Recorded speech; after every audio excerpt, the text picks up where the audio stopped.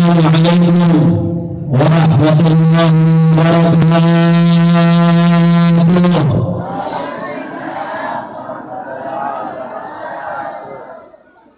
الحمد لله رب العالمين حمدا يوافي نعمه ويكافئ مزيده يا ربنا لك الحمد كما ينبغي لجلال وجهك ولعظيم سلطانك سبحانك لا علم لنا إلا ما علمتنا إنك أنت العليم الحكيم.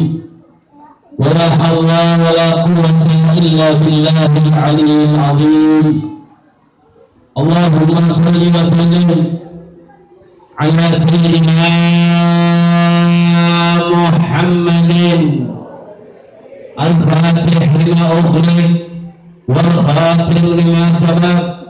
الناصر الحق بالحق والهادي إلى صراطك المستقيم وعلى آله وصحبه حق قدره ومقداره العظيم ونسأل الله تعالى أن يرزقنا فهم النبيين وحفظ المرسلين وسرعة إلهام ملائكة المقربين آمين آمين يا رب العالمين Amma ba'du yang saya hormati dan saya cintai dan saya muliakan akhina fillah ad-da'i ilallah al-mubarak as-sayyid al-fadil al-habib Abdul Qadir bin Ahmad al-Idrus matta'an Allah betul hayatih dan juga saya hormati dan saya cintai dan sama-sama kita hormati guru kita Al-Ustaz Subhan matta'an Allah betul hayatih dan segenap para orang tua dan juga ahlan wa sahlan yang kita hormati dan kita cintai Kiai Haji Munawir Asli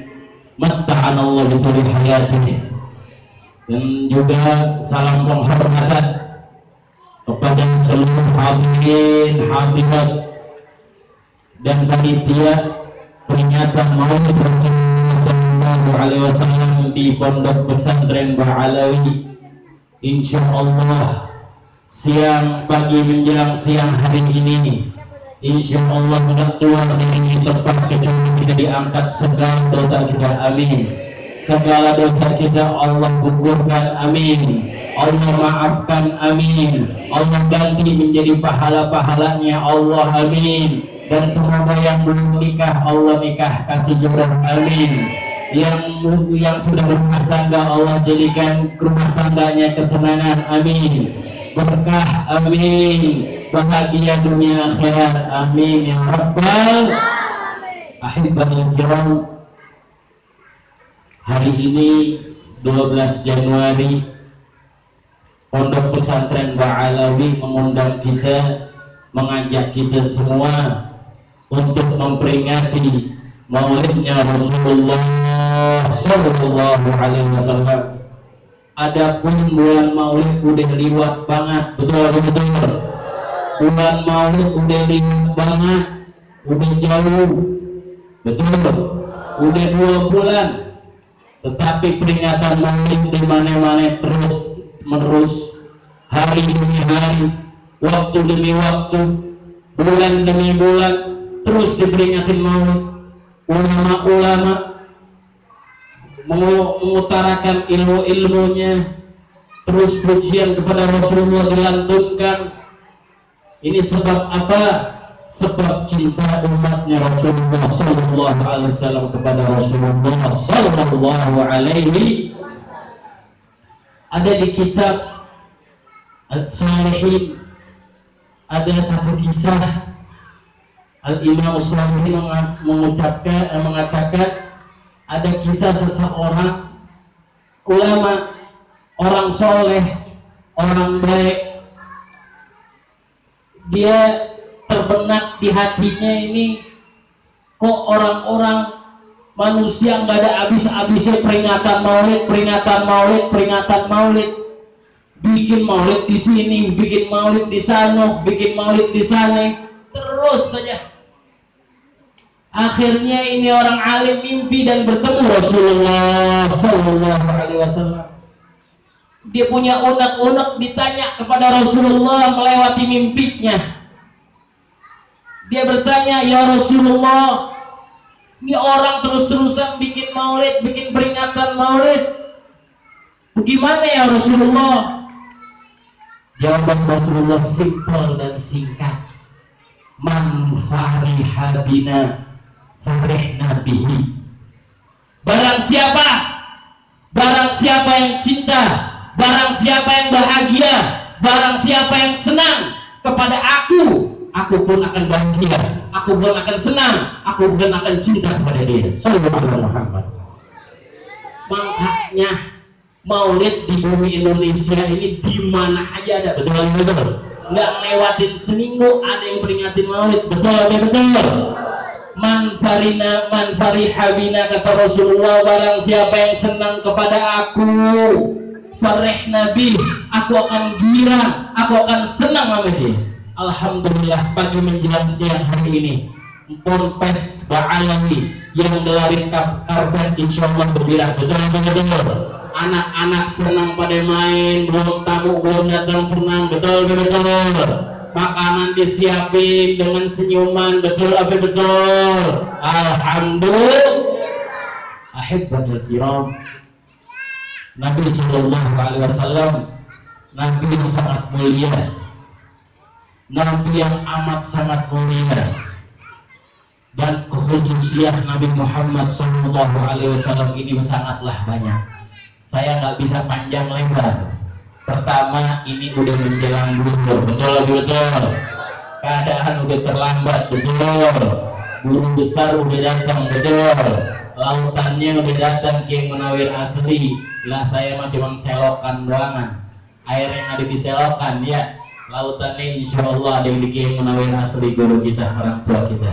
Ya, yang jelas untuk Ponpes dan warga Pondok Rajab atau warga Ponpes Ba'alawi wujud kita bukti kita mewujudkan cinta kepada Nabi Muhammad Sallallahu Alaihi Wasallam cuma satu dan itu dikasih solusi oleh Rasulullah Sallallahu Alaihi Wasallam. Apa kata Rasulullah Sallallahu Alaihi Wasallam?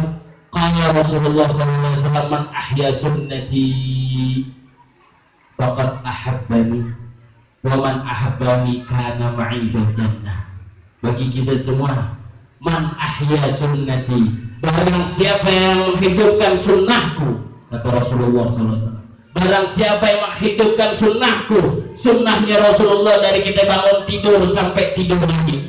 Dari kita bangun tidur, kita baca doa Alhamdulillahilladzi ahyana ba'dama amatana wa ilaihi nusyur sampai tuh masuk kamar mandi bagaimana keluar kamar mandi baca doanya gimana pakai baju bagaimana baca doanya mau makan mau minum kelar makan kelar minum kita pakai mau keluar rumah masuk rumah kelar keluar untuk kerja masuk kerja semua sunnah-sunnahnya Rasulullah Shallallahu Alaihi Wasallam kita hidupkan di dalam diri kita. Fakat ahabbani maka dia telah cinta kepadaku jadi jangan ngaku-ngaku cinta. Jangan ngaku-ngaku cinta sama Nabi kalau sunnah-sunnahnya Nabi kita lantarkan. Kalau sunnah-sunnahnya Nabi kita abaikan. Kalau sunnah-sunnahnya Nabi kita remehkan. Na'udzubillah min. Jangan ngaku-ngaku. Karena apa? Solusinya syaratnya cuma satu maka man ahya sunnati faqad ahabbani Barang siapa yang menghidupkan sunnahku maka dia telah cinta kepada aku itu kata Nabi Muhammad. Wa man ahabbani dan barang siapa yang cinta kepada aku karena ma'i jannah. Dia akan bersamaku di surga Allah Jalla Jalaluhu. Insya Allah yang hadir di sini. Kita bersama Rasulullah Sallallahu Alaihi Wasallam di surga Allah. Amin ya Rabbal ah, ahya sunnah. Mengetahui sunnah. Menghidupkan sunnah. Memang kita nggak bisa dapatin kecuali dengan menuntut ilmu betul. Kita nggak bisa ngapa-ngapain. Kita nggak bisa ngerti itu tadi doa-doa semuanya kecuali dengan nuntut il nuntut ilmu. Alhamdulillah ponpes Pak Alawi udah ada. Ustaz Subhan di mari Masya Allah. Betul. Alhamdulillah bimbing kita, bimbing warga, bimbing masyarakat, bimbing anak-anak. Betul. Alhamdulillah. Yang mana Ustaz Ustaz Subhan?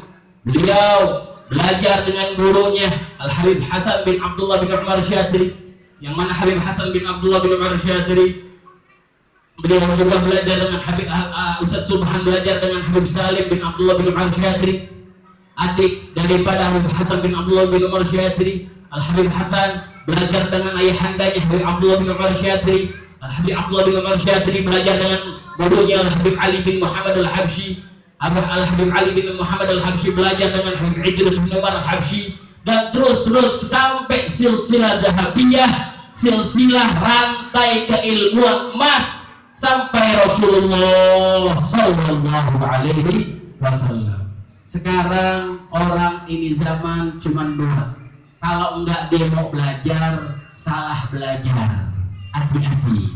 Orang kalau karena enggak enggak belajar atau salah belah, salah nyari guru, salah nyari ustadz, banyak.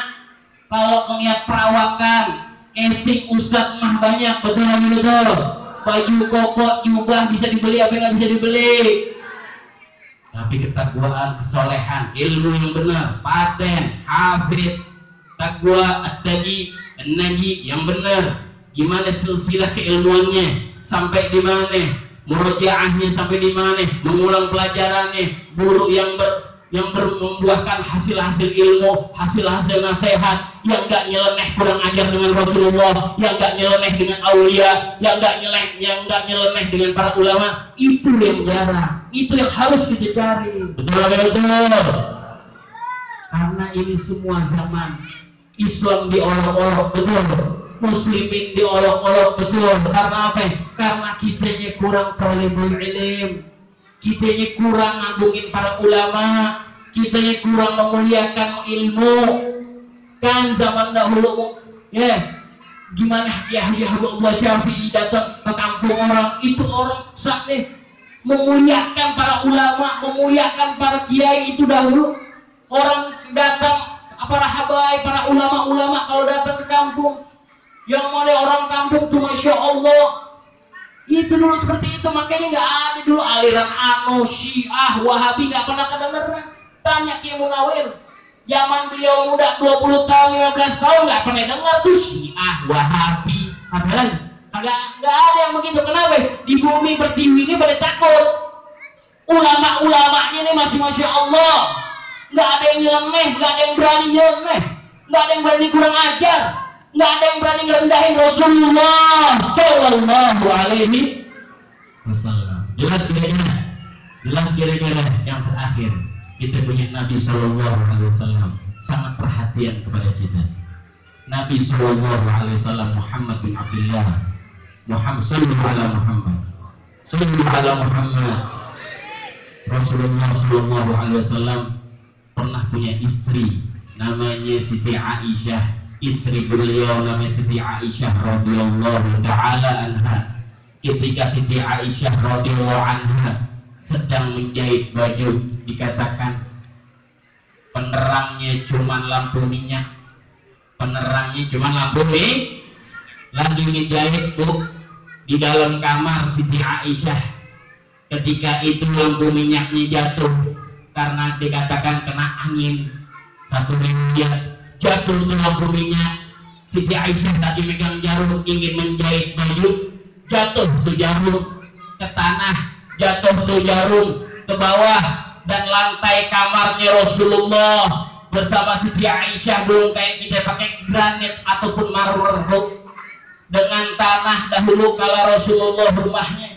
Pakai jerami pakai daun pakai bambu pakai kayu-kayu tanahnya nggak ada granit nggak ada ubin nggak ada marmer pakai tanah. Jatuh di jarum gelap gulita kamarnya. Gelap nggak bisa melihat Siti Aisyah. Lagi nyari-nyari jarum Siti Aisyah. Saat itu juga Rasulullah Shallallahu Alaihi Wasallam masuk ke kamarnya Siti Aisyah. Dibukalah pintu oleh Rasulullah. Kemudian begitu Rasulullah masuk bersinarlah satu kamar sesinar-sinarnya. Bercahaya itu kamar secahaya-cahayanya. Terangnya itu kamar seterang-terangnya. Sehingga Siti Aisyah mendapatkan jarum yang jatuh di dalam tanah seketika itu juga. Sallallahu Muhammad. Begitu dapat Siti Aisyah langsung Siti Aisyah heran. Siti Aisyah girang heran. Ma'atwa wajhaka ya Rasulullah alangkah bercahayanya wajahmu wahai Rasulullah. Sehingga jarum yang jatuh di tanah aku dapatkan seketika itu juga ya Rasulullah. Apa jawab Rasulullah Sallallahu Alaihi Wasallam kepada Siti Aisyah? Naam ya Aisyah. Naam ya Aisyah. Wailun walakin. Betul wahai Aisyah akan tetapi Wailun liman lam yara wajhi fil akhirah. Betul wahai Aisyah Wajahku bercahaya betul wahai Aisyah Tetapi celakalah bagi orang-orang yang tidak pernah melihat wajahku di akhiratnya Allah Siti Aisyah pun khawatir Siti Aisyah pun bingung Man lam yara wajhaka ya Rasulullah Siapa yang gak akan melihat wajahmu seperti ini nanti di akhiratnya Allah ya Rasulullah? Siapa dari umat-umatku yang gak melihat wajahmu nanti seperti ini ya Rasulullah? Sallu ala Muhammad. Apa yang Rasulullah? Naam ya Aisyah. Man idha dzukirtu wa lam yusalli alaihi huwa hum alladhi lam yara wajhi fil akhirah. Mereka ya, ya Aisyah, mereka umatku wahai Aisyah yang jikalau namaku disebut jikalau namaku disebut dia tidak ingin bersolawat kepadaku maka dia tidak akan melihat wajahku di akhiratnya Allah sallu ala Muhammad sallu ala Muhammad namanya Rasulullah menjadi mulia. Namanya Rasulullah memuliakan kita. Namanya Rasulullah bisa membawa kita memandang wajah Rasulullah Sallallahu Alaihi Wasallam atau tidak. Jadi hati-hati. Jangan sampai kita nggak gemar salawat Jangan sampai kita tidak cinta salawat. Sallallahu alaihi Muhammad. Insya Allah akan kita dengar apa kita tahu bermanfaat untuk diri kita semua. Insya Allah yang hadir di sini, yang memperbantukan acara semuanya, yang gelarin karpet, yang membantu semuanya, yang memperbantukan seluruh acara dengan cara tenaga atau material atau apa pun itu juga dengan pemikiran insya Allah ganti dengan keberkahan yang berlipat-lipat ganda dan insya Allah kita diangkat derajat kita semuanya dari Allah dan semoga kita dijadikan orang-orang yang selalu gemar bersalat kepada Rasulullah Sallallahu Alaihi Wasallam. Wassalamualaikum warahmatullahi wabarakatuh.